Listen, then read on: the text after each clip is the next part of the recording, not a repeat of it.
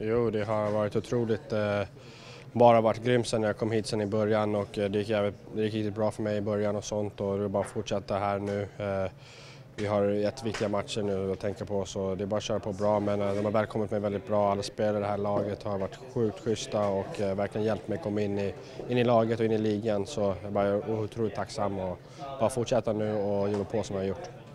Hur ser du på produktionen att du, som du har haft i år då, att det har lossnat lite med den biten?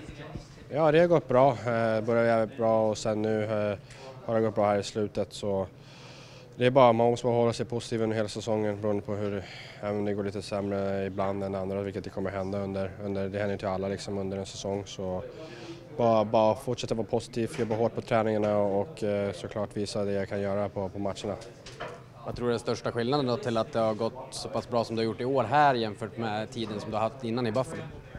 Ja men alltså grejen är att jag fick ju chansen här från början. Eh, jag vet att jag var redo förra året att spela men eh, de skickade ju ner mig fast jag hade jättebra training camp också så jag tror bara det har varit riktigt kul. Helt annan, jag fick en ny, liksom, ny start här och var supertaggad och det är därför det gått så bra och har kommit till en organisation som är Original Six och de är sjukt, eh, riktigt bra med att ta hand om unga spelare och sådana grejer så jag är bara oerhört tacksam. Eh, jättekul att vi fick komma hit så bara jätte, jätteglad. Också tacksam där att jag fick bo hos han och han har hjälpt mig så mycket. Bara jag kan snacka med honom om allt på och utanför isen så det har varit riktigt kul och jag, det har varit riktigt bra för mig också.